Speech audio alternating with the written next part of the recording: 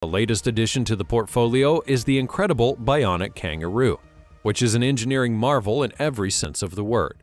Taking inspiration from the kangaroo's jumping mechanisms, Festo has recreated the animal's unusually long back legs in their bionic kangaroo, which allows it to increase its speed without consuming more energy.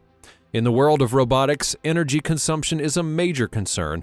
However, with the bionic kangaroo, Festo has found a way to use the power that's generated by the recreated back legs, which can be recovered, stored, and retrieved. This technology has immense potential in the field of industrial automation, where knowledge about energy recovery and storage plays a massive role.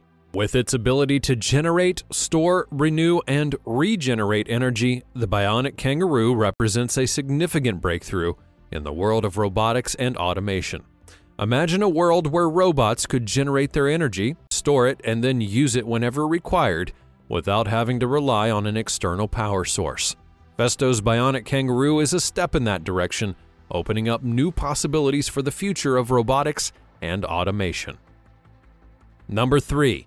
Bionic Ants Imagine a world where robotic ants scurry about factories, carrying out tasks with incredible efficiency and precision –